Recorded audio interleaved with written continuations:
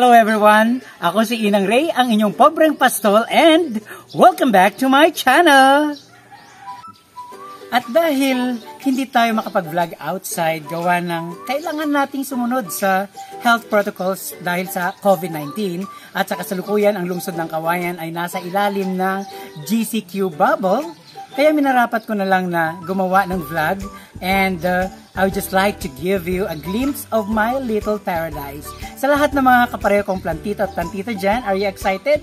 Ang aking garden ay maituturing na ordinary at simple lamang. Dahil ang kadalasan sa mga plants ko ay mga ordinary lamang at bigay ng aking mga mababait na kaibigan. Bagamat ordinary maituturing ang mga halaman dito, nakakapagbigay naman ito ng kasiyahan tuwing sisikat si Haring Araw.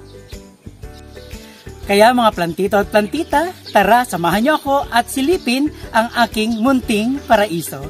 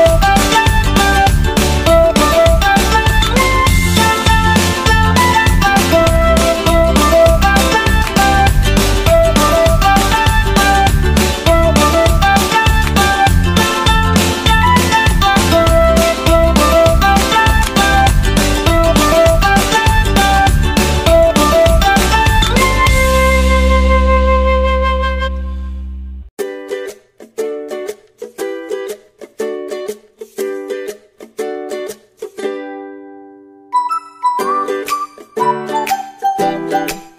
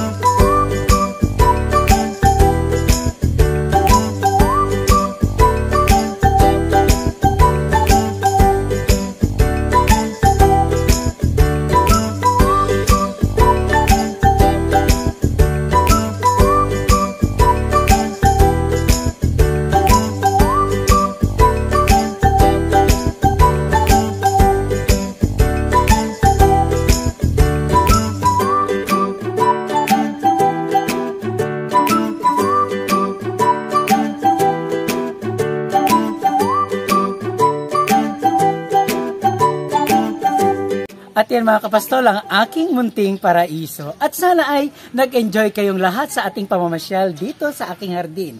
At bagamat ang aking mga halaman ay maituturing ng mga ordinaryo lamang, ngunit panigurado namang nakakapagbigay ito ng ngiti at saya tuwing sisikat si Haring Araw. At kung bago ka lang sa aking channel, all you have to do is click the subscriber button below and my notification bell para sa mga updates and more videos. Maraming maraming salamat at hanggang sa muli!